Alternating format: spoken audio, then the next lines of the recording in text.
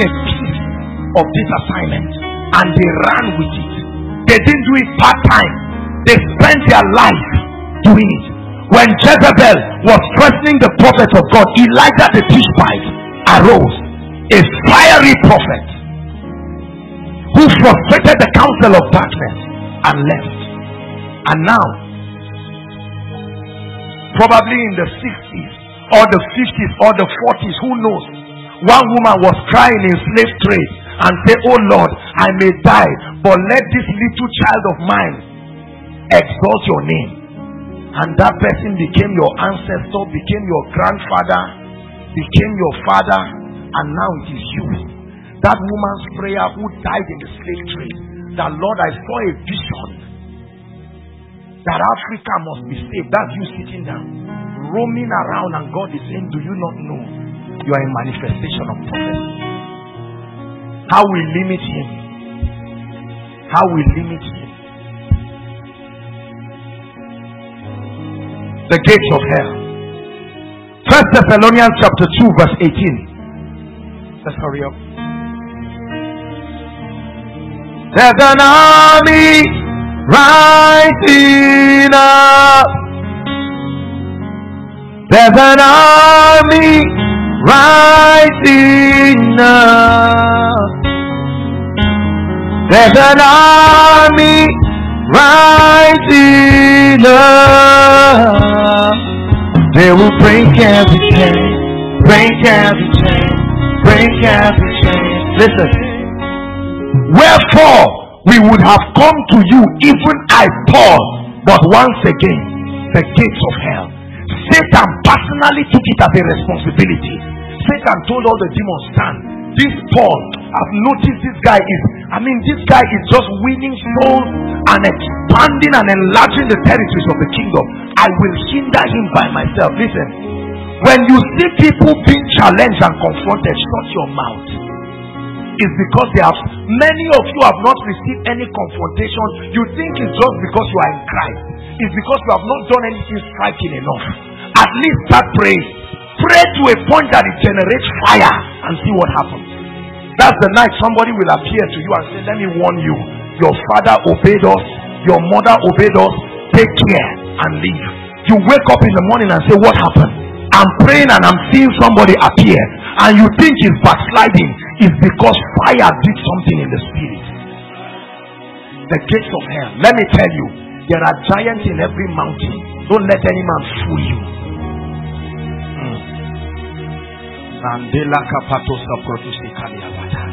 I pity any man of God that wants ministry, wants crowd, wants miracle, and will not pray. You are roaming around doing CEO or doing president you will die like a chicken, I tell you. See, let me tell you. If you know how desperate Satan is to destroy your life, Satan does not mind if you die after koinonia on your way going. That's when you will appreciate the mercy and the grace of God. Because for one month now you have not prayed, some of you, and you have traveled and gone everywhere and yet nothing happened. Just a cry. It's just because I'm in Christ.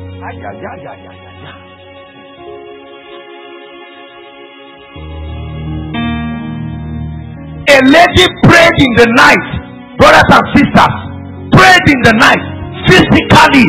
In the morning, her uncle called her and said, What did you do? Her physical uncle alive. What did you do? I can't remember. He said, Be careful. You don't know who you are trying. Let me tell you, faith will not open like that. You want to bring breakthrough, you want barrenness to stop in your family, you want oppression to stop, the cause of poverty to stop. All this, all this Christianity will only, the devil will encourage you to keep doing it. But let fire burn upon the altar and you watch reactions from the gate of hell. Oh, yes, I tell you, Reaction from the gate of hell is not a sign that the victory of Jesus is not there. It's a sign that something you are doing is striking a chord. How many of you have finished praying and you find out that your loved ones are insulting you and there is fight in the house? It's when you finish praying The day you don't pray, there's joy and peace and love. Even somebody who doesn't like you just loves you. But you take out time and blast in tongues for two hours non-stop. As you step out, they say, Look, I've been warning you. And you are saying, What did I do? It's not the person, the gates of hell. Attempting to stop you. You tell that man, No, I speak with you. I'm going somewhere and see what happens. That's the day somebody will come and tell you, we don't do it like this in Nigeria. Oh. Better bend or become a fool. And you sit and say, truly, Satan is threatened by every communication of zeal towards your destiny. I know what scares Satan. I found out early in life. The moment you say, I am taking a step, I tell you, Satan fears you. It's not everybody Satan is afraid of. There are men who are determined when you worship God and you say, Lord, in life and in death, Satan says, What do I do with this person?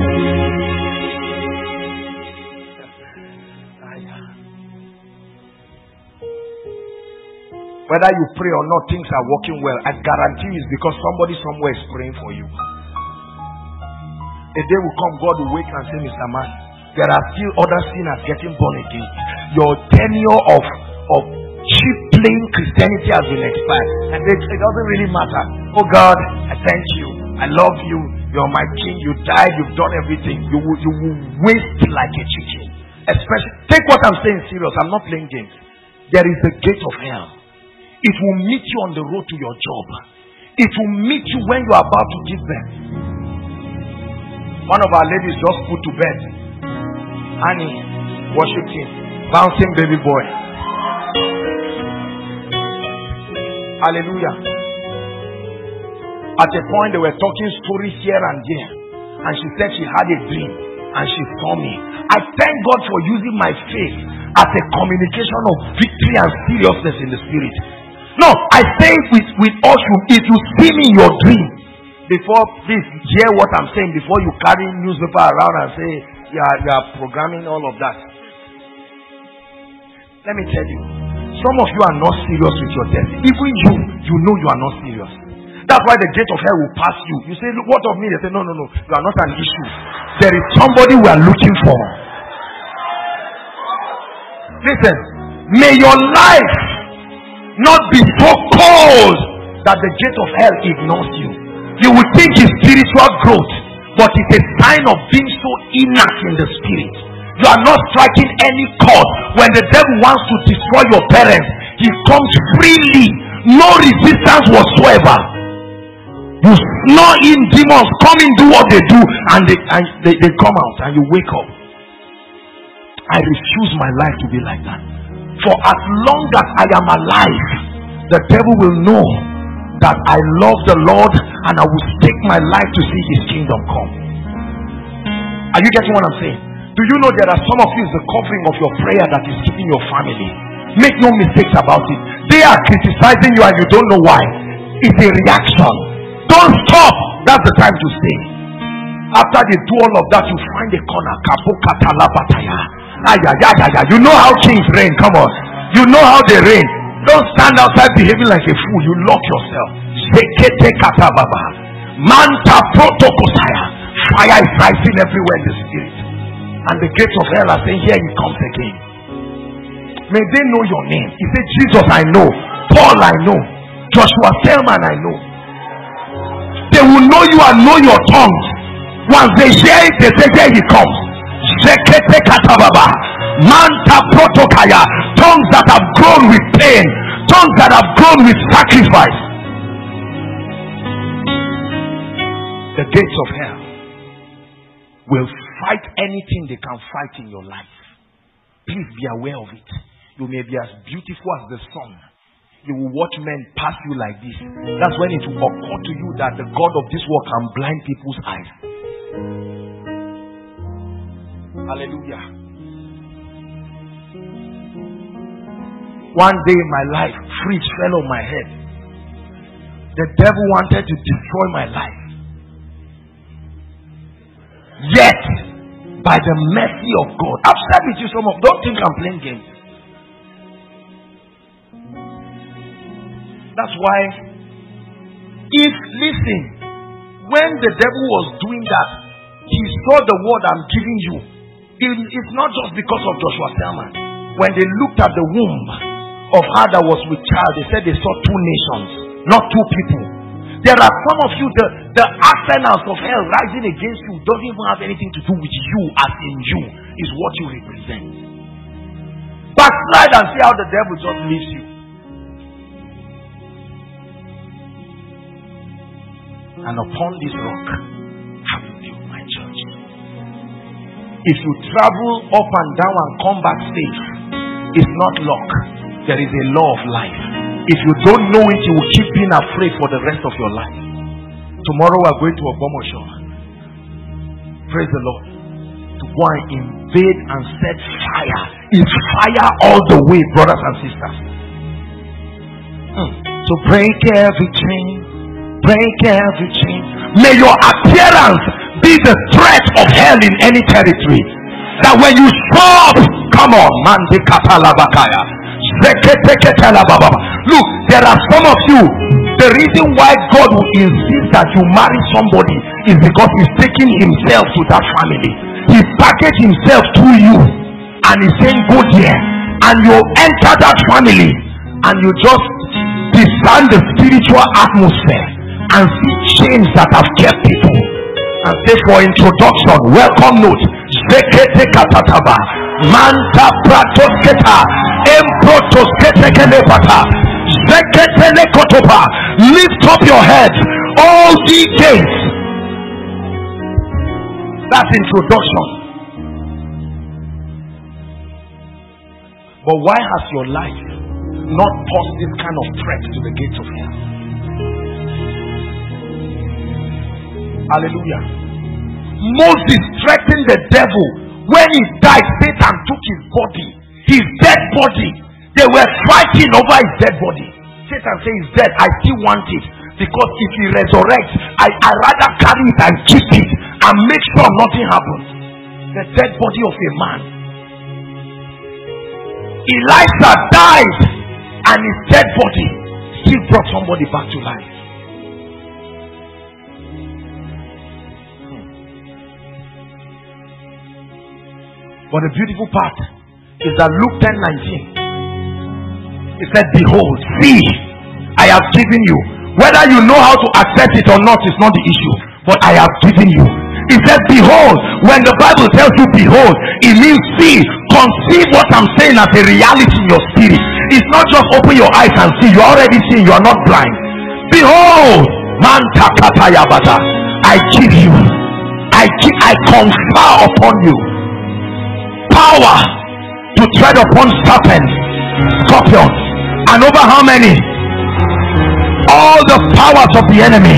The word power there is the word exousia, authority. I give it to you, Joshua Selman, because you will need it. You will never be able to advance koinonia without that power. There are gates that will rise. There are gates over Zaria. Don't think this crowd gathering outside is just because Satan was asleep there is a force. We know where we do it. When the prayer band comes together on Tuesday, as they lift their voice, something is happening. And while you are there in your room, some chains just break. And you say, Let me go for koinonia today. And something wants to keep you. But God will say, Come, come, come. Listen, please let me submit to you in all sincerity. If your prayer life is dead, use this meeting to jack it back to life. I'm not playing games. This is not an issue of I'm calling to the ministry of prayer. Nobody is calling to any ministry of prayer. As a, everybody is calling to the ministry that will make Jesus come. The advancement of the kingdom. He didn't tell some, let me teach you how to pray. The rest go fishing. He was talking to everybody. You see the importance of prayer. If you are not told this, let me tell you, what I'm doing to you is imparting the spirit of prayer and supplication. If I don't give you a reason to pray, you will never pray. All these lazy things people do around. And let me tell you something a big secret. See, explore the mystery of night prayer. We'll, we'll soon do when there is a series on that.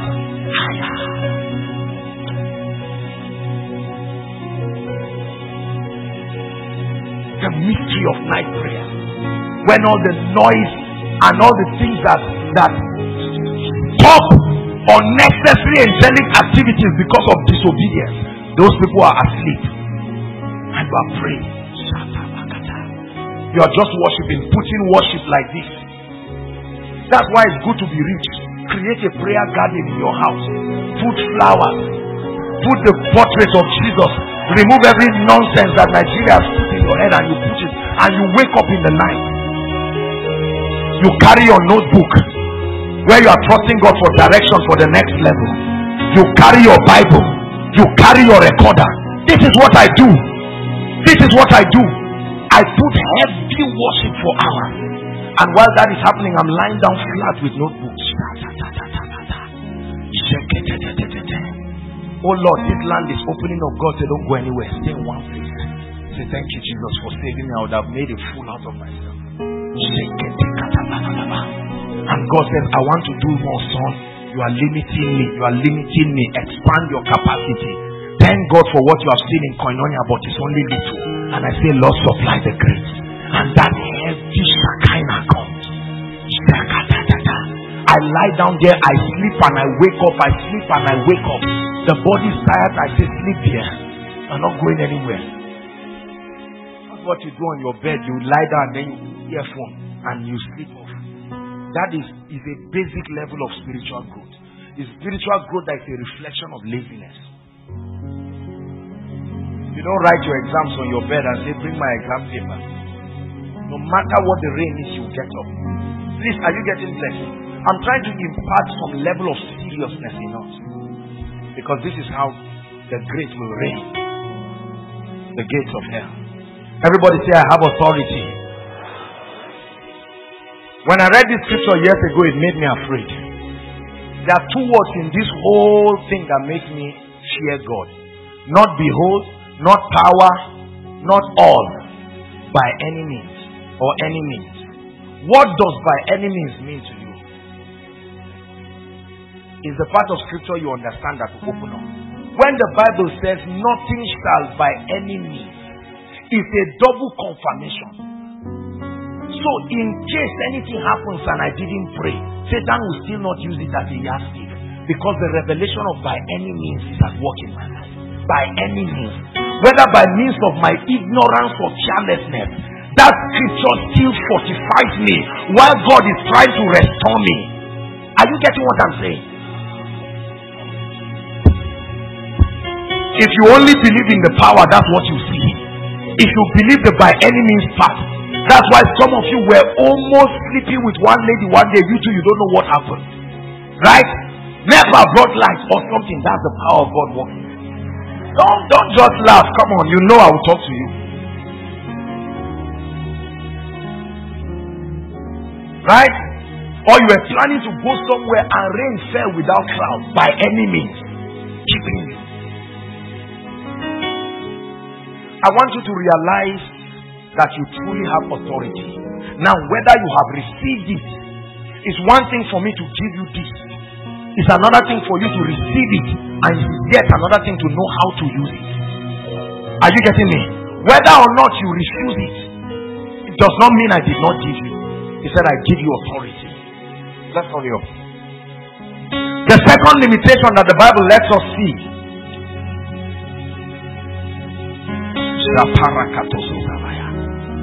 is the limitation that is caused by lack of a transformed and an aligned mind. I want to dwell on this a little and then we'll pray. The first limitation is the gates of hell, Satan. But the second and even bigger limitation is lack of a transformed mind. The absence of a transformed mind can be a limitation to the might and the glory of God finding expression. Now, let me explain something very quickly. I want to just correct something very, very quickly. Please look up. I taught something and we're having a school of ministry and I did a little teaching and I saw the way the students, the thing was just nailing them and uh, they were saying, it's not like I don't agree with you, but let it just settle down. What we call the tripartite nature of man. I want to teach you something. Please look up.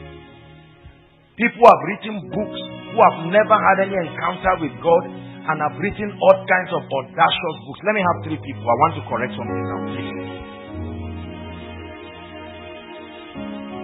Hallelujah. Watch this. Just stand facing. You stand in the middle. You are wearing white. God bless you. Watch this. Look at this. This is what you have been taught. Now, I'm not against what we call the tripartite nature of man. But I want to teach you something that will really liberate you. Otherwise, you will not understand this transformation thing I'm talking about. What I'm going to teach is very powerful now. This is what we have taught people. This is man number one, spirit. This is man, same man number two, soul. Is that not true? This is man number three, body. This is what we have taught. The Bible never teaches this one. This is nonsense. That's religion that brought up that. Are you getting what I'm saying? It is true that man is a tripartite being. But the concept of tripartite being is not three distinct individuals like Father, Son, and Holy Spirit. Uh-uh. It's in the similitude of that. But watch this. This is the part I want to explain to you. What is the soul of man? Look up. If you don't understand this, forget transformation. Forget carrying the power of God and the glory of God. What exactly is the soul of man? It is true that the Bible says that you be kept spirit, soul, and body. Right? But what is the soul of man? Is what I'm saying is, can you separate the spirit of man to say, this is spirit, you, this is soul, stand there, this is body? Can that happen? Look at me. When a man dies, how many objects or entities are separate? Two. Is that not true? Whatever you call it, whether spirit or soul, we're about to find out. But whatever, let's call it X. X comes out and the body is lying down there. Correct? Is that true? We're about to get the name of X now. Listen. you say why? Don't say why. There's no why in the equation. Are you are you following what I'm saying now? If you don't understand this, you will be confused. Which part relates to God? Which part should change? Which part goes to heaven. And there is that to tell you believers are not even growing. Because if you are growing, you must meet this question on the way. Are you getting what I'm saying? What is the soul? Look up. We teach that man is a spirit. He has a soul. He lives in a body. Very correct. It's only that we don't think over what we are saying. Joshua Selman Listen, Joshua Selman is a person. He has a handkerchief. He lives in a room. How many, assuming this room is a living thing, how many living things do we have? Are you getting what I'm saying now? What you call the soul, please get this. Never forget what I'm about to teach you now. What you call the soul, listen, is the spirit of man, but connected to his will, emotions, and intellect. The will, emotion, and, and intellect of man are forces or spiritual frameworks that were attached to his spirit man to be able to help that spirit relate with the body. Are you getting what I'm saying? So when the Bible says man is a spirit, it is true in that he's describing the fact that this spirit entity came from God, right? But the spirit like that, if the spirit just comes to the body, there will still not be interaction because of law of territory. Go and get my message, Mysteries of the Kingdom. I've taught on the law of territory that there must be compatibility in territories. That's why spirits cannot move freely in the earth. They need material bodies. Uh, is that true?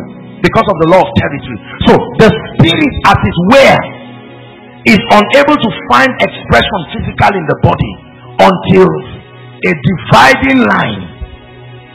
Are you getting what I'm saying now? An attachment that helps the spirit to communicate with this container called the body. And that attachment is the mind composed of your will, ability to make decisions. So the spirit wills, and through the will of man, the body executes that will. Are you getting what I'm saying? Emotions and then intellect, a sense of comprehension so this body can wake up as an intelligent person with a brain. Remove the will, emotion, and the intellect, and you don't have a soul again. You just have spirit and body. Are you getting what I'm saying? So when you say man is a soul, you are right.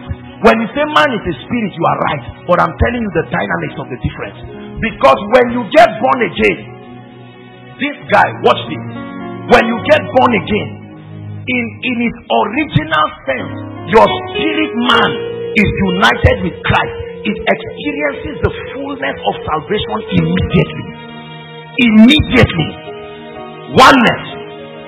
Where? Are you getting my point?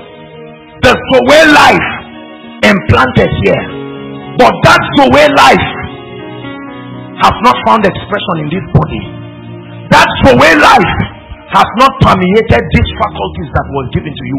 That is why, although you are born again, you find out that you may still have that appetite to smoke. The memory of what you did is still there because this dividing line, the will, emotion, and intellect, has not been transformed. Are you getting what I'm saying? So the Bible puts it this way First Peter chapter 1, verse 9. First Peter chapter 1, verse 9. You need to understand this. Herbalists understand this. Those who do astral travel, right? What they call them Hare Krishna or all these world religion, they understand this very well. It's part of the foundational teachings that they are taught. Everybody read. want to read. The word end there is the culmination of your faith. Receiving the culmination of your faith. What is it? This is talking to believers. What is the salvation of your soul? The salvation of your soul is when your will, your emotions, and your intellect progressively begin to experience the fullness of the reality of what has happened in your spirit. The degree to which that salvation happens is the degree to which your body begins to respond more perfectly to the impulses of the spirit which is connected with God. Are you understanding what I'm saying? So watch this. All authority has been given. So we believe the word of God. That means this spirit man is carrying the very authority of Jesus. That means that if the mind of Christ is automatically attached to your spirit experientially, nothing will be impossible for you again because there is no resistance as far as your soul realm is concerned. Are you getting what I'm saying? Are we following what I'm saying? But this is usually the problem. Watch this. All power is here. The body is a puppet. It's ready to execute anything that these channels give it room to. Are you getting what I'm saying? Now, this is all the power of God. But this is the level of access.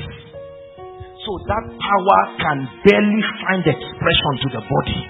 So all that the body executes are you getting what I'm saying?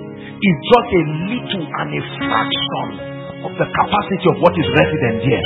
But because human beings look at the body, and so promise now teaches because he used his eyes to read. Oh, sick bodies, you can be healed. Blind, you will be healed. And your spirit man is saying, Yes, we have the power, don't fear. But because you do not have that vision of your soul, the transformation, what makes the earthly heavenly. Are you getting my message now? That very factor. I now come to him on wheelchair.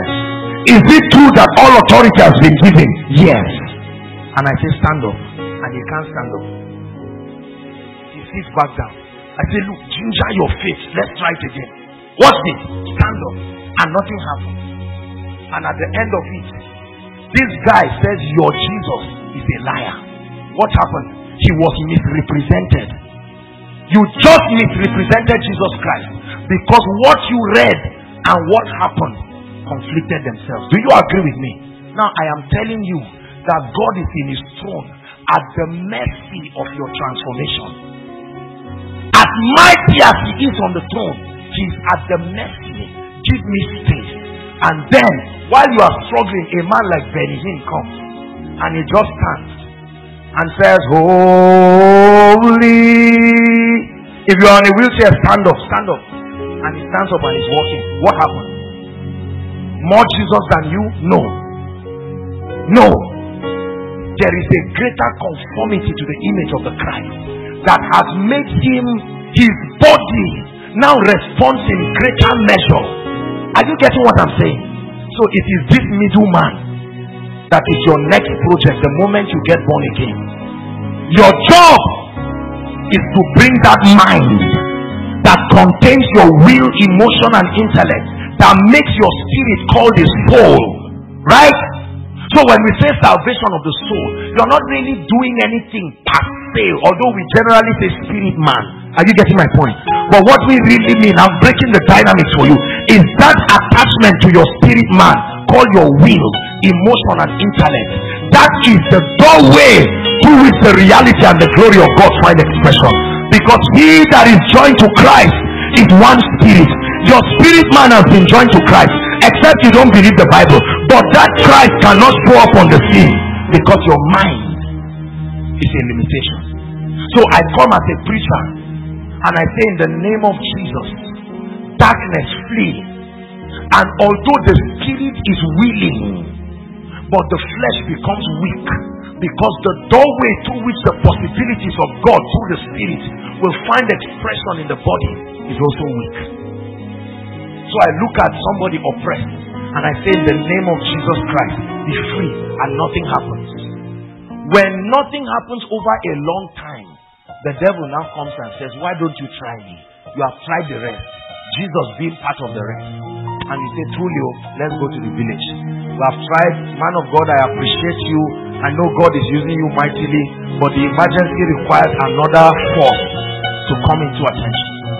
And the herbalist that you meet has mastered the art of yielding his faculties.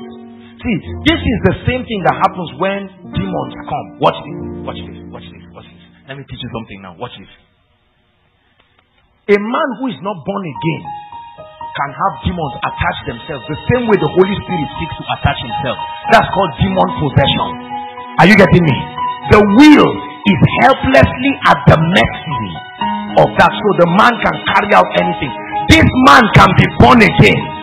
Demons can no longer come to his spirit man per se, but they use the doorways of these faculties between the spirit and the body, there is an interruption. Are you getting what I'm saying now? So he can be born again, yet anger is still killing him. He can be a man of God, yet he's still masturbating and he's praying in tongues, genuine tongues, real tongues. And you are saying, Kai, this man of God is fake. No, he's not fake. Something is happening in the soul realm. The salvation of his soul has not been perfected. So the Bible says it this way the weapons of our warfare are not carnal because it's not the realm of the flesh, but mighty through God. Are you seeing now? He shows you how that transformation happens to the pulling down of strongholds, casting every imagination, every high thing that dwells in that soul realm, and bringing every thought to the obedience of Christ. Listen. So the difference between me and many of us is not necessarily more anointing as we call it. The difference is more alignment, more yieldedness, more translation. So it makes you reflect the heavenly. This is what happened to Enoch. Enoch yielded himself in a point that in his lifetime, this his mind was so yielded, and this body started experiencing immortality.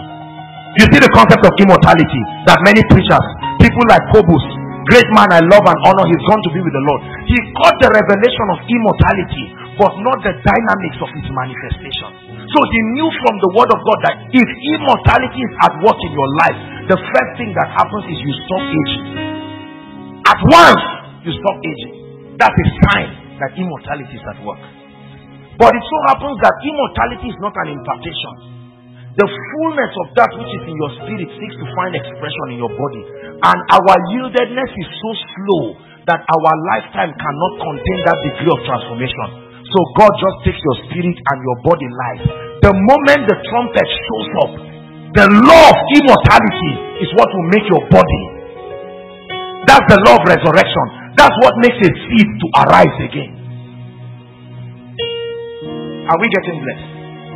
Let's see, guys. I just hope you understood what I said. Psalm 78, verse 41. Please let's rush. Help us, Holy Spirit. Holy, holy, holy. Holy, holy, holy. Holy, holy, holy, holy, holy. Holy, holy, holy. Yea, they turned back and tempted God. And what else did they do?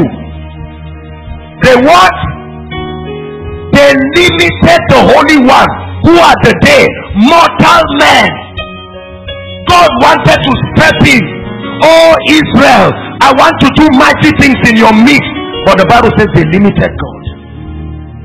They limited God. A man can limit God. Brothers and sisters, how many times have we limited God in our lives? How many times have we limited God in our finances? How many times have we limited God in our ministry? Who told you the dead cannot rise? Who told you all these things cannot happen? There is something stopping the realities that have been deposited in the spirit man. And so every time we engage, I'll be sharing with us the forces that will help us attain to this transformation. Listen, I will never forget the first day that I was going to experience the anointing of the Spirit in my life. I've never seen it before, never laid hands on anybody, I just kept praying and doing all the things that I knew to do. And one day, there was a lady who came from somewhere. And I prayed, you know, we bought food for her. And then she, I prayed for her. She got born again. And I was about to minister the baptism of the Holy Spirit. Just by faith. And I just laid my hands. And it was as if I was dreaming. I just saw somebody moving back. I had barely touched her. And that's how she just went on the floor. Ah! I said, Oh God, what, what is this good news that I'm seeing? So be excited when you begin to see. Don't just be childish about it. Because some of you, once you see that, you keep looking for people whose surface area to volume ratio is small, so that the anointing will enter fast. You now go and look for small, small ladies and try to throw them. I remember years ago there was a gentleman. Okay, the power of God will touch you now, now, and the lady is just doing like this, but refusing to fall. Then you put one finger, you not fall. Two fingers, you are doing madness. The agenda of God is bigger than that thing. God will just let you because at least you are cooperating with Him. So just do and let's continue. But it doesn't mean God, you are slowing down your progress. Some of you are doing it, Abi. Praise the Lord. And so from that time, I began to see. I will never forget when I saw one dimension of the operation of the Holy Spirit in my life. I think it was our first crusade, Pankshin Crusade. We usually have pastors conference where we have some time with the pastors, teach them. That was in 2006. And then we have like, um, we just distribute ourselves in different churches and go and worship with them. So I was in a church and I gave a word of knowledge. When I gave a word of knowledge, the person literally stood up by the anointing. You know this running that people run out and come. I was shocked. I thought that's how they do it in the church. I called another person and he ran out. I could not understand. I didn't know that gradually, gradually, gradually, hallelujah. Let me use medical terms. Have you seen times when medical people, a woman wants to give birth, right? And they said that her pelvic area has not dilated enough. Is that true? Is there a baby? Yes. Does he want to come out? Yes. Why is he not coming out? The mother. Right? And sometimes they have to do all kinds of things Worst comes to worst when nothing is wrong, they just tear her open and carry that child because the child must come out. Pray that God will not have to do CS for you for this destiny thing to come out by force. As soon as Zion travails, the Bible uses that similitude. She will So, the reason why God is able to do what He's doing now in a larger capacity is that by grace and by constant partnership with the Spirit over the years, we have been able to open a little more. So the transformation that our mindset has been able to come in greater alignment with the word of God. So more of heaven can find expression through our lives. But compared to where God wants to take, we are still so slow. This is why we must continue contending. Are you getting what I'm saying now? That is the reason why we celebrate men of God. We don't just celebrate the men, we celebrate their sacrifice of giving God space to find expression. That's why a man can enter a city and that city will shake. Not just shake in terms of crowd. A lot of even people who will not come for the crusade. There's a woman. I think one of the few women on earth that I know is alive that carries the presence of God in the order of Ketu. She's still alive today. When that woman is coming for a crusade, immediately they spot her car. That's how healings and deliverance happen. I was shocked. I didn't know there's such a person in the earth. Ah! The day I saw that, I said, My goodness. Ah, this is heaven. This is what we're saying. This woman stepped into the crusade ground and my goodness, the kind of miracles. I'm not talking of all these miracles that you don't even know whether you are healed or not. You are just afraid of the pastor, so you say yes. Provable miracle. Wounds that will close right away, not magic. Right away, wounds closing. I said, My goodness, oh God. So you still have men and women. And ladies, do you know you have an advantage over men because of your configuration? Your configuration was designed in the similitude of the Holy Spirit. You see that? That's why many ladies are easily possessed and demonized because their configuration is in the similitude of the operation of the Holy Spirit.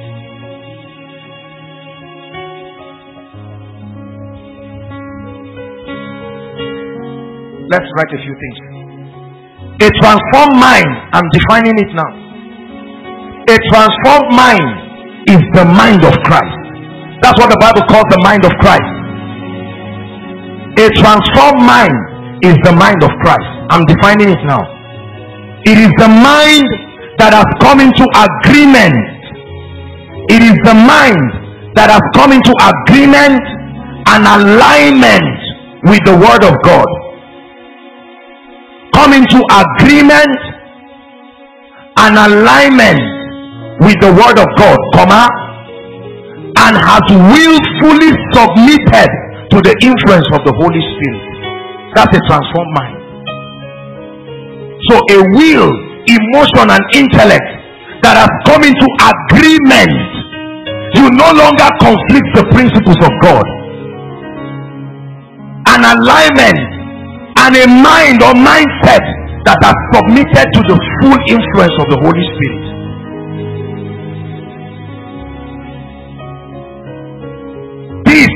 Is what the Bible calls the end of your faith, the culmination of the work of salvation. And this very one, transformation, is not initial, it's not automatic, it's not at once, it's progressive. It takes a while. It is over that that the Bible says in Philippians chapter 2, verse 12. Let's look at Philippians chapter 2, verse 12. It says, Work out your salvation. You see it now. That's the part it says, Work out. Not just the work of the law, not just trying to add something to what Jesus has done. No. Work it out. The work out there, it says, Wherefore, my beloved, as ye have always obeyed, not in my presence only, but now much more in my absence, comma, work out your what? Your own salvation. As a matter of urgency, what is the work there? Is the name given to your participation, your cooperation with the Holy Spirit. In your fasting, you are working it out. I'll be sharing with us in your prayer and all the points I'm about to give you here. You are working it out.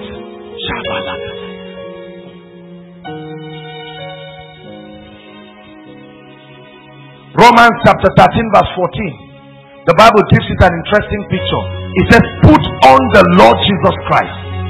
wear it's like a cloth, put on. Put ye on the Lord Jesus Christ. And what? By so doing. Make no provision for the flesh. That means there will be space for the flesh until you put on. That put on the transformation is like wearing a new garment.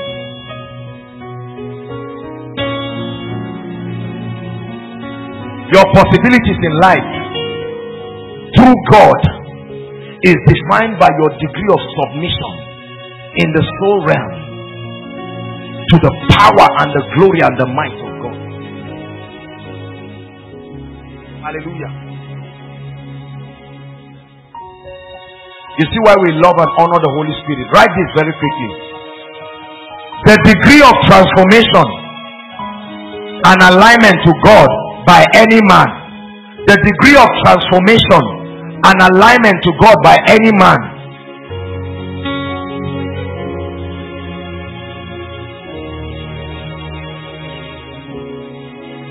exactly becomes the degree of access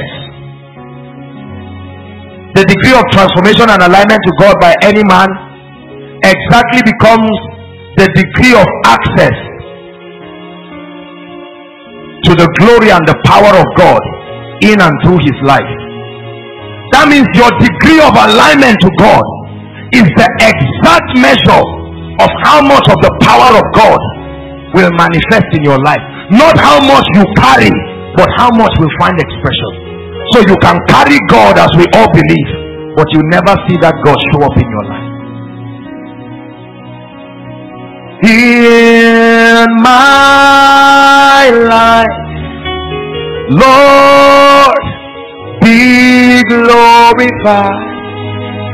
Will you be glorified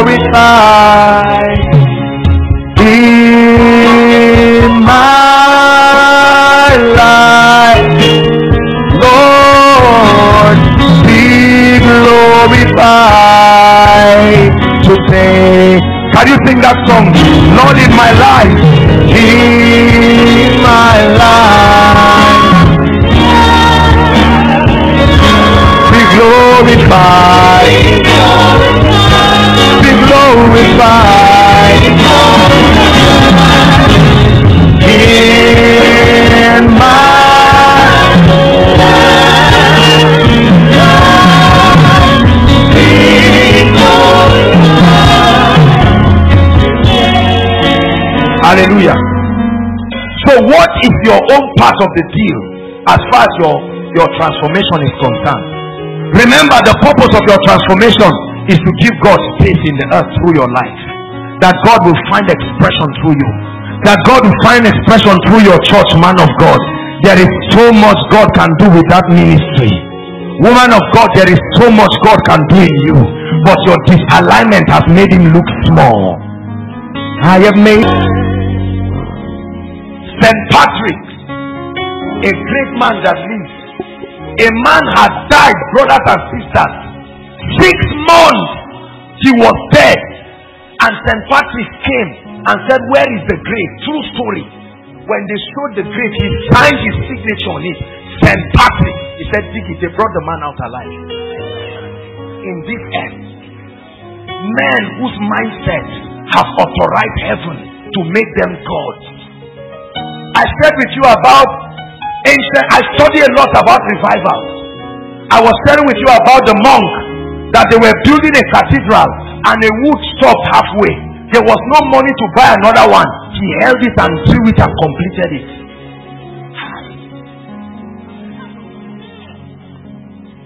Transformation that makes the earthly to become the heavenly.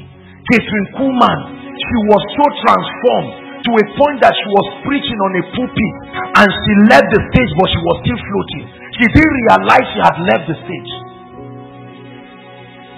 Apostle Babalola, for those of you who know, the founder of CAC, that man preached to a point he was levitating and going.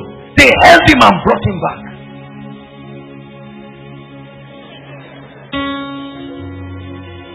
E.W. Kenyon men who allow the possibilities of God. You don't die less than 70 in his church, he will raise you back to life. One time a man had a, a, an accident, a car climbed his leg, broke his bones, and all E.W. Kenyon did was to look at him because he sees through his eyes. And he looked at him, allowing heaven to pass through your eyes. And the bones started making noise. We say today, like mystics, but men, the Bible says, men whom the earth is not worthy of. How did they live? Imagine, brothers and sisters, Elijah, he was talking with God on the mountain and they came to interrupt him. He called fire. Your atmosphere open. Fire with chain consumed them and they went back physically. Daniel entered the lion's den and looked at the lions and smiled. Joshua told the sun to stand still. There is something we are missing in our generation. And Bill Johnson got it on the spot. He called it the supernatural power of a transformed man. How that heaven wants to find expression. Do you know how much God can do with Koinonia?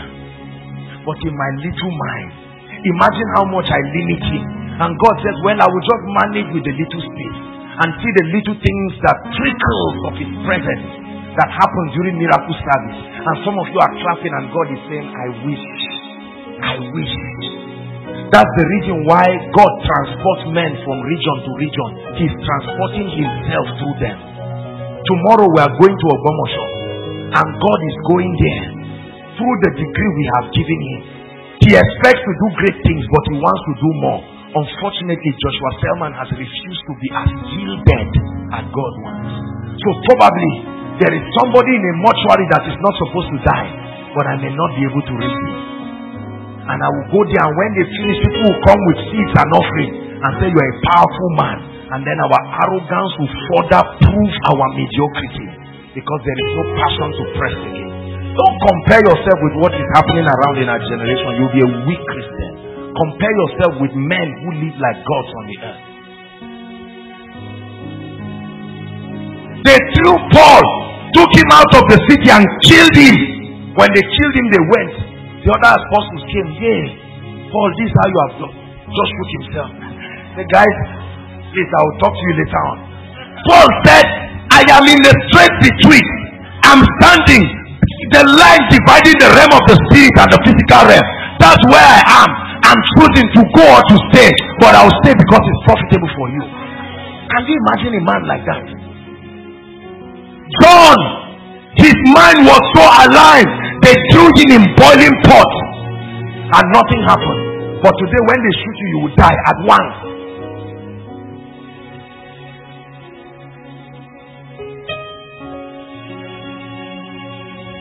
Let me finish up so we pray. So, what then is your assignment? What's your challenge? Write these two scriptures Philippians 2:12 and Philippians 2:5. That's your assignment. Let this mind be in you. Permit this mind. 2 verse 5. Let this mind, Koinonia, God wants to find expression in Zaria. God wants to find expression in your family. Give him space. Don't limit the mighty one. He is mighty but limited. Mighty but limited mighty but limited to you.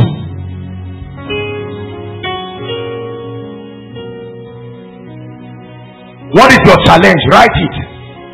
That means your assignment and your task to work out that salvation, to contend for transformation and alignment, so as to grant more space and more access to God to find expression through you in the earth. That's your singular challenge. That's your singular task. Contend for transformation. Give God space through your life.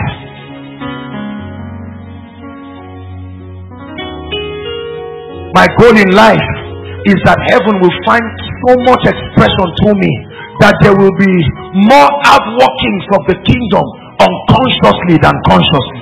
I look forward to a time when there will be accidents and I will just come and God will say thank you. I've always wanted to raise them, but I need an access point. Joshua Selman be there. Hey, see, the Bible says you shall lay hands on the sick. It didn't say you shall say be healed. Just take me near that person and you will be healed. God wants to go to your home, but He wants to travel through you.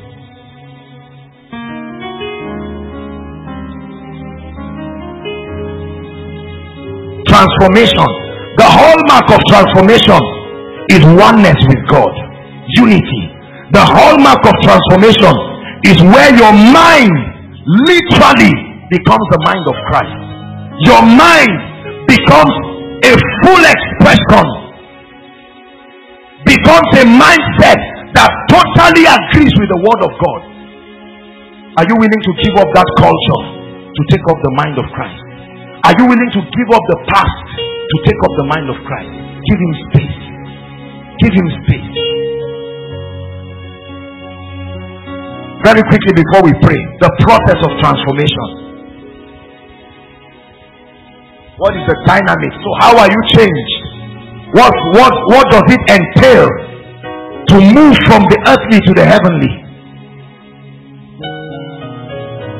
Number one, the first key to transformation is a life of prayer. The first that translates you from the earthly to the heavenly. Praying in the spirit. When you pray in the spirit, that transformation is happening, whether you know it or not. That's why I encourage as many of you whose prayer lives are weak, join the prayer department for one month so that you can have a platform to fire up your prayer life. Pray in the night Pray in the day. Separate days for prayers. Prayer in the spirit is one of God's technology for changing a man from being earthly to being heavenly.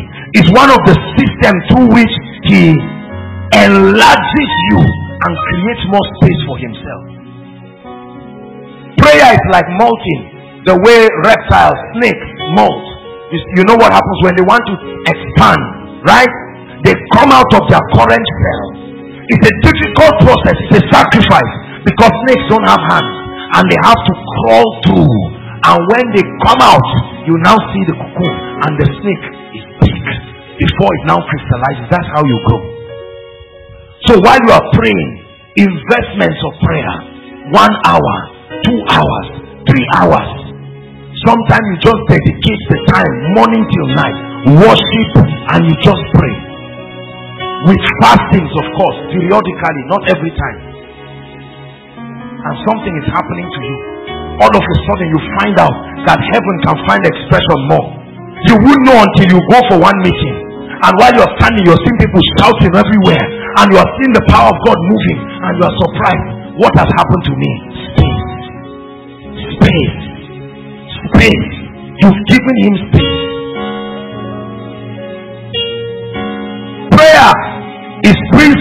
A channel for encounter, illumination, and empowerment.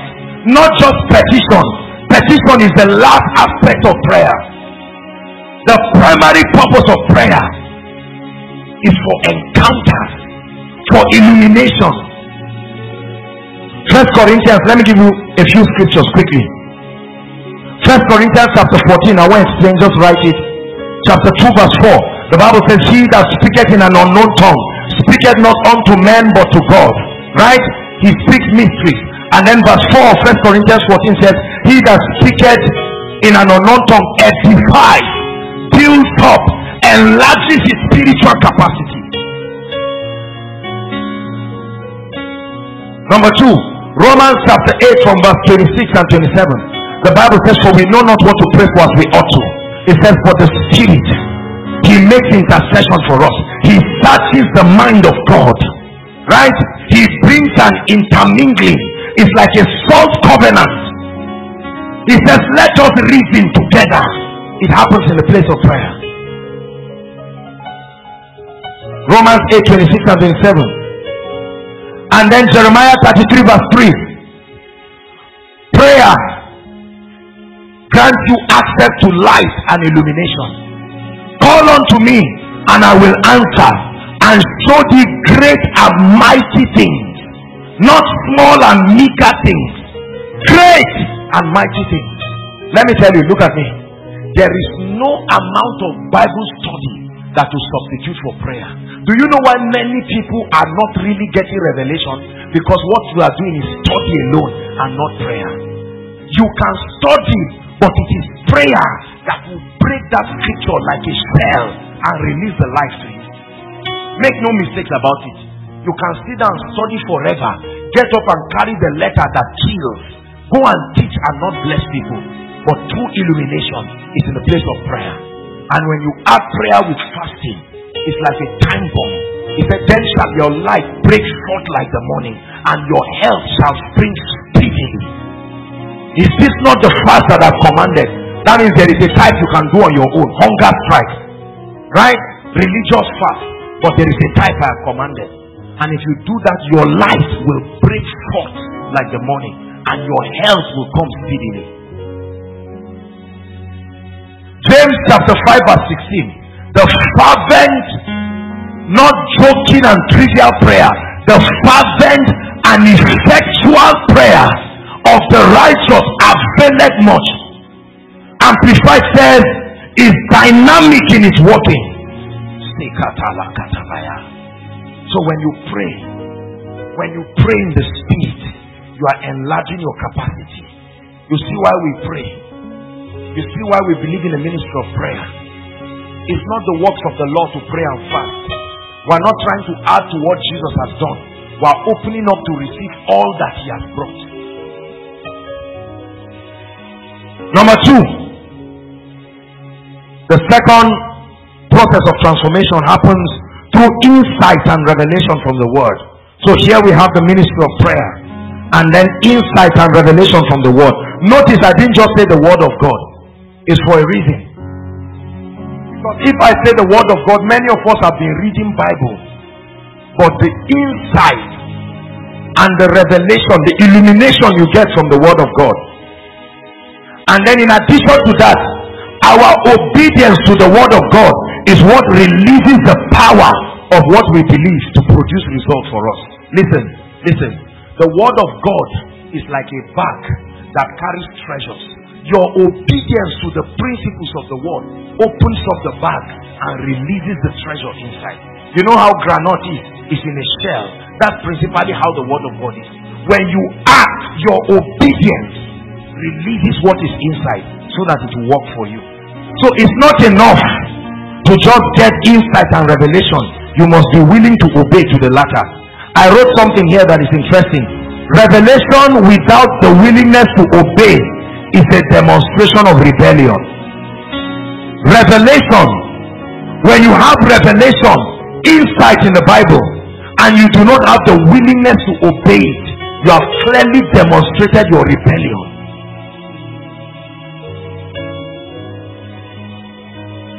A few scriptures. Hmm. Proverbs 24 verse 30. Let's look at it very quickly. We'll look at three scriptures. Proverbs 24 verse 30. And then Acts chapter 8, 29 to 30. Proverbs 24 verse 30. Hallelujah. It says 24 verse what? 30. I think I may have made a mistake. Okay, let's go to Acts 8, verse 29 to 30. While I look that up. Acts 8. It was the story. The story of the Ethiopian eunuch. Watch this. That guy could not experience God in his life because he was void of knowledge and understanding. And when the Spirit said unto Philip, Go near and join yourself to the chariot, 30 And Philip ran thither to him and had him read prophet Isaiah and said, What? Understandest what thou readest? Not just that you are reading it, do you understand? It's not enough to just know scriptures and climb scriptures. Do you understand? Understanding, illumination, insight. Job chapter 22, verse 22 very powerfully. Job 22 22. Receive, I pray thee, the law from his mouth and lay up his word in your heart. Receive it. Don't just read it. Receive it. Let light enter you. The entrance of thy word giveth life. There is an enlargement. He said, right? prosperously because of truth.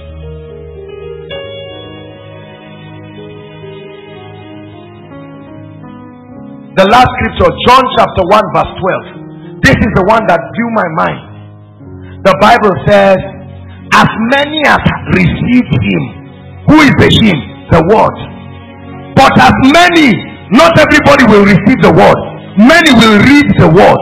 Many will admire the word, but very few will receive it.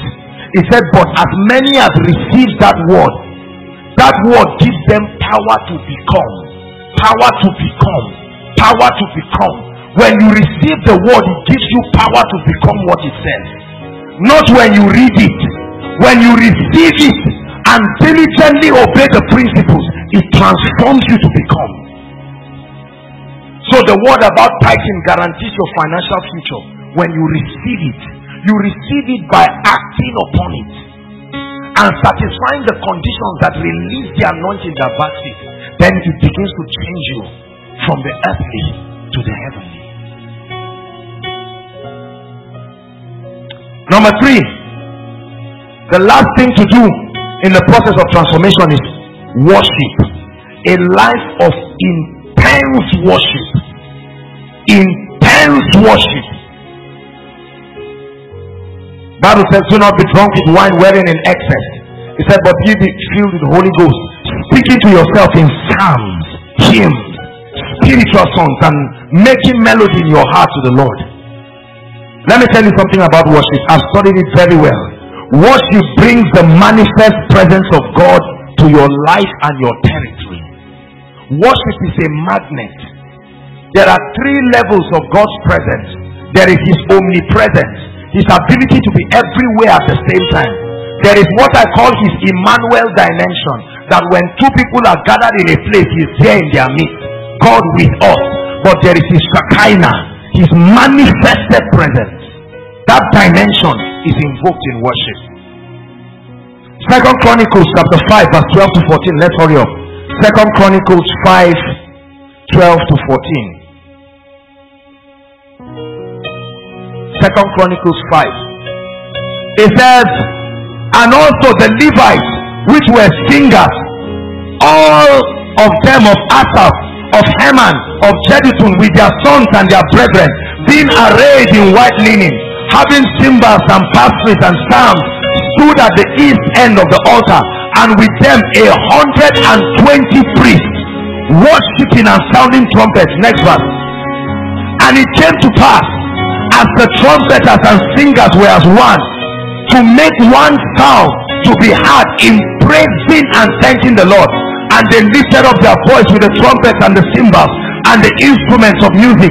And praise the Lord saying for the Lord is good for his mercy endured forever. That what happened. The house was filled with a cloud even the house of the lord. Next verse. The Shekinah of God came and rested there. So that the priests could not minister by reason of the cloud except for the glory of the Lord has filled the house. When you maintain a life of intense worship the glory of God comes. Your body begins to shake. A literal vibration at his presence. And you are lying down there soaking in that presence for hours. See this is how to walk powerfully in the anointing and the glory of God. That the cloud the glory of the Lord let me tell you when the glory of the Lord rests upon your life you won't even be able to stand up. That's the kind of sicknesses will melt away, infirmities will go away. The majestic voice of God will come through the cloud and speak to you. Maintain a life of worship. Put worship songs in your phones. Remove all those ungodly songs that keep making your mindset a doorway for demonic activities. Come and meet the worship team. Let them do a selection of spoken worship songs for you. Just lie down in your room. You may be sleeping normally but let the songs just play. Sometimes they may just be hymns like this or songs playing. No words to them and you are just spoken and after a while the kind of God like a hand resting upon eggs remember what I said about the hand? A hand will rest upon an egg and turn that liquid substance to a chick how much more the glory of God when it rests upon you? Hallelujah. Acts chapter 16 verse 25 the bible tells us that paul and silas were locked up in the prison. And the bible says they prayed and they sang. They sang praises to god. And the prisoners had them.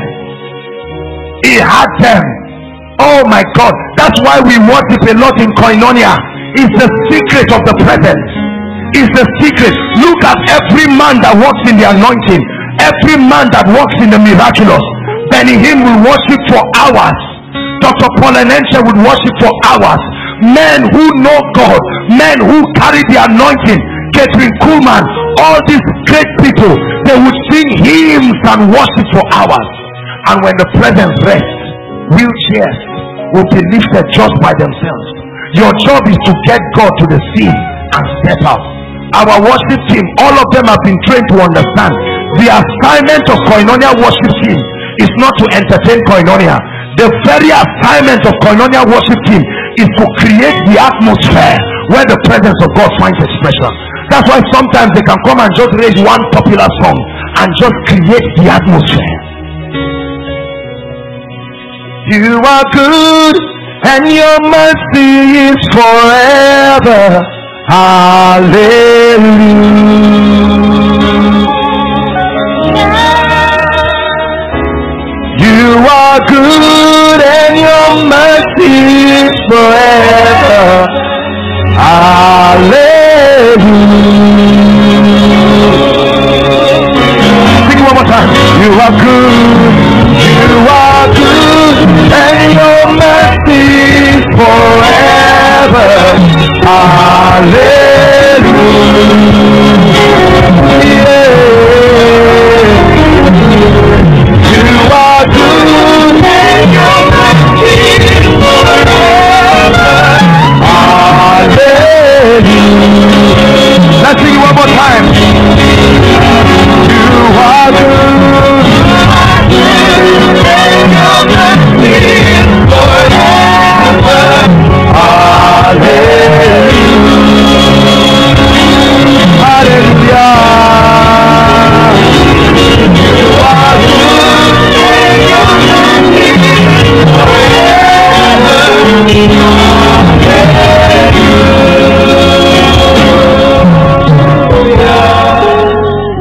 To listen to my message and voice of his presence is the foundation for this. We're going to pray. We're out of time. Rise up on your feet. Just two prayer points, but I want you to pray with all your heart. i like you to pray and ask the Lord and say, Lord, bring me to that place where the mind of Christ experientially becomes my mind. I'm willing to give you space. Go ahead and pray. I'm willing to give the God of miracles space, the God of breakthrough, the God of signs and wonders, the God of impartation, the God of salvation and revival.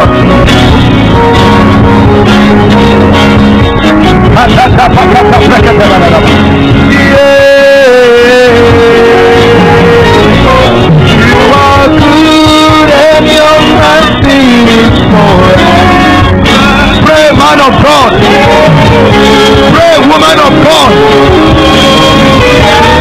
Pray, businessman. Give God praise.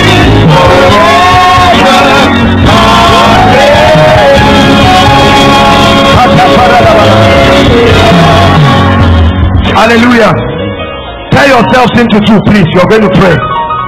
I'd like you to intercede intensely for your neighbor. Lord, let heaven invade his life. Pray. Let heaven invade his mindset.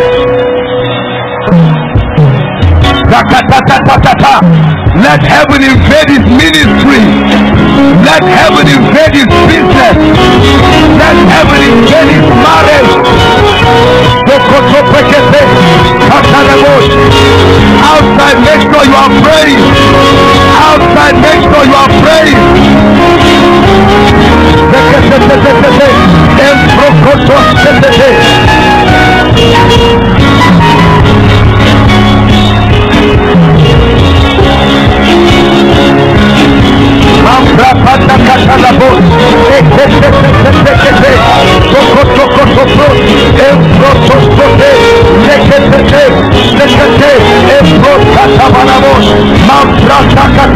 Heaven, heaven, invade our minds, invade our souls, invade our souls, invade our bodies. let the fullness of the capacity, the fullness of the possibilities in God find expression.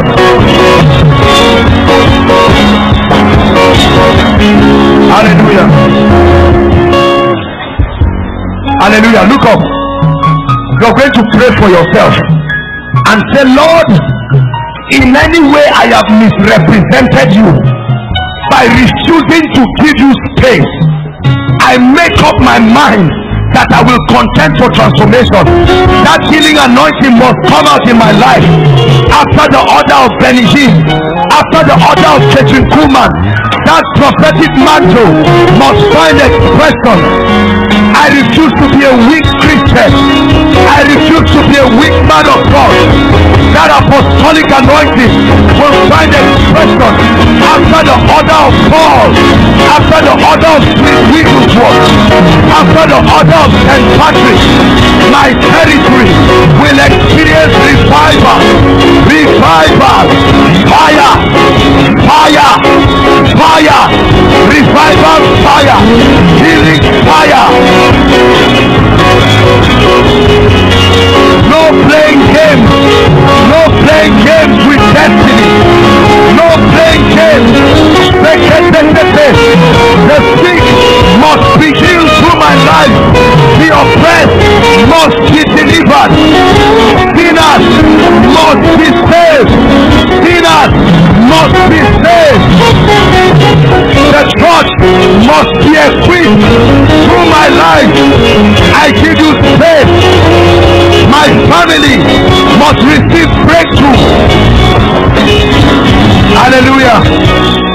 Hallelujah.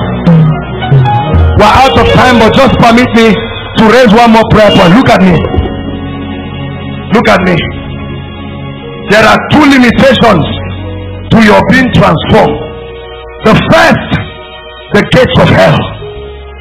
The solution to that is have an understanding of your authority and exercise it.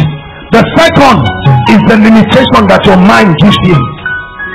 The solution, content for transformation in prayer and in the word. We are going to pray. There are forces that have vowed that you will never rise up to give God that level of space. There are all kinds of forces, but I like you to exercise dominion over yourself and your loved ones you love them some of them don't know what you know lift your voice and cry in the next three minutes Señor.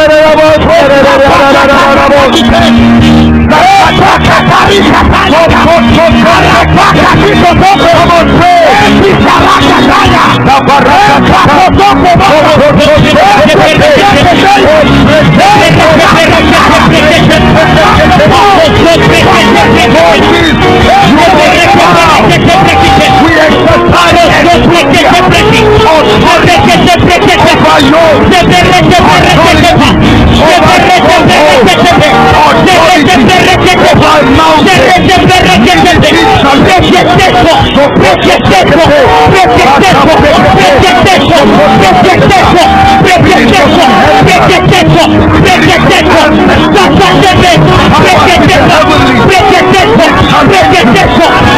Hallelujah.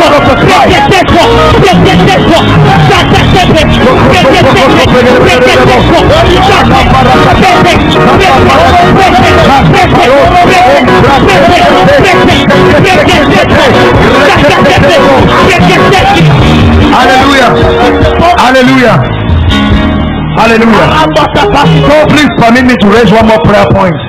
I know we're out of time, but this is burning in my spirit. Look up. Hallelujah. God is doing things. Fire is burning in this place. Listen. Bishop Oyedepo said there was a time the church in Kaduna was not growing. Nothing was happening. They had the heart, they had the mandate, but they were spiritual walls. And they were fasting together with the pastors. Lord, what is it?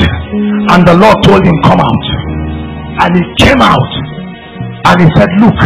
And he looked upon the church and he saw a dark cloud.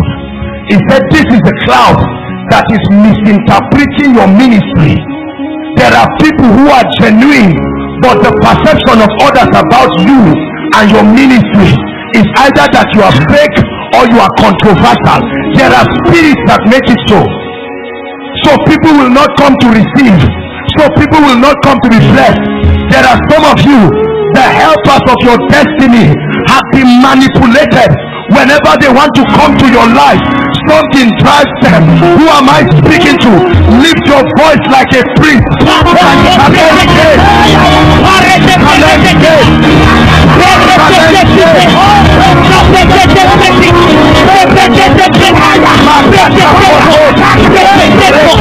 Lift up your head. Lift up your head. Lift up your head. Forces of ancestry.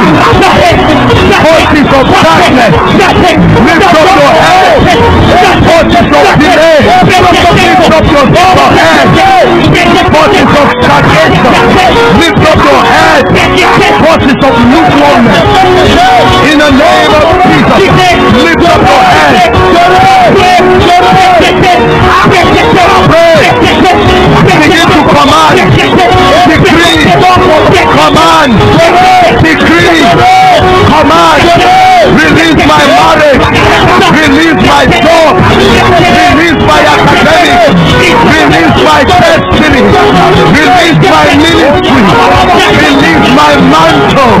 Release my anointing. Release my destiny helpers. Release my unction. Sokote. Kaka. Mapate. No protokete. Ekasakata. Ekete.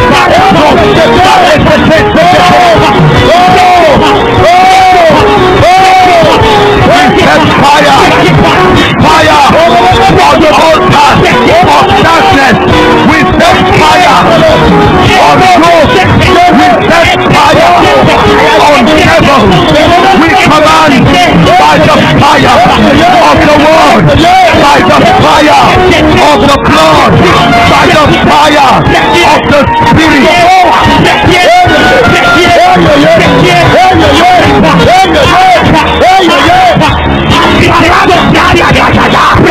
Hallelujah. Hallelujah.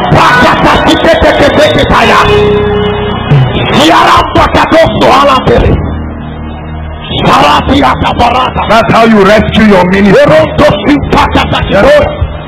That's how you rescue your marriage. That's how those things will be caught.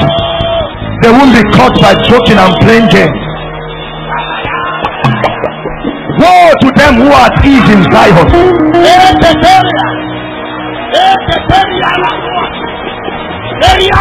When you confront the gate, then they will open. When you confront the gate that are killing your ministry, then it will open. When you confront the gate stopping your marriage, then it will open. You confront the gate killing your academic, then it will open.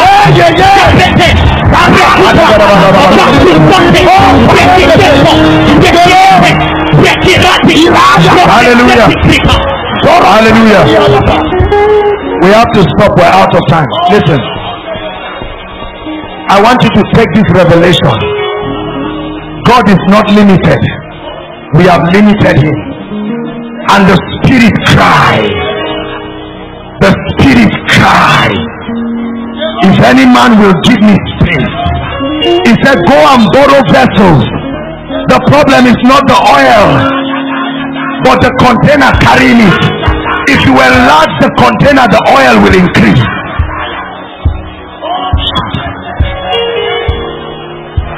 Hallelujah.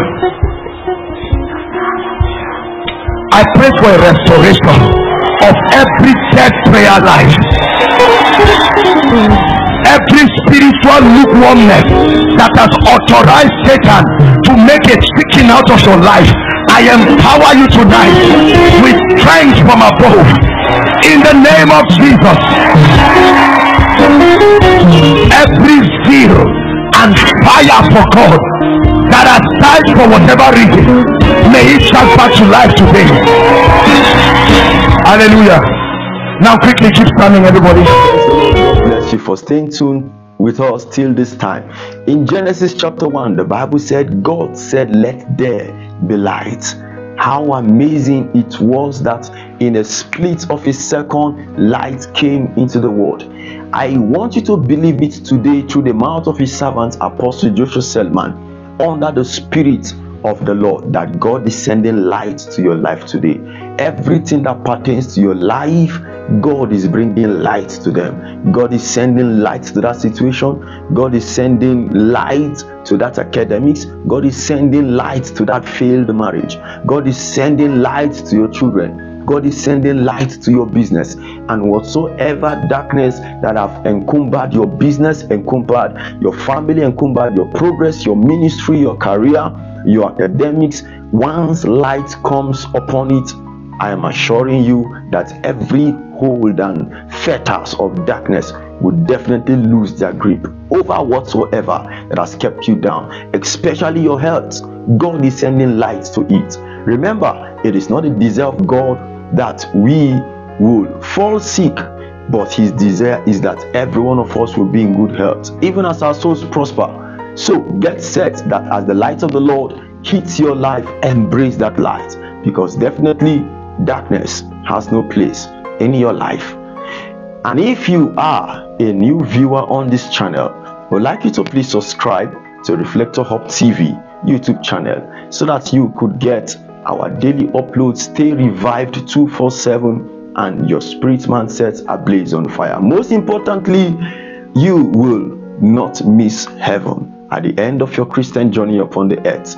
God bless you. Share this video with your loved ones, family, and friends. See you in our next video. Love you.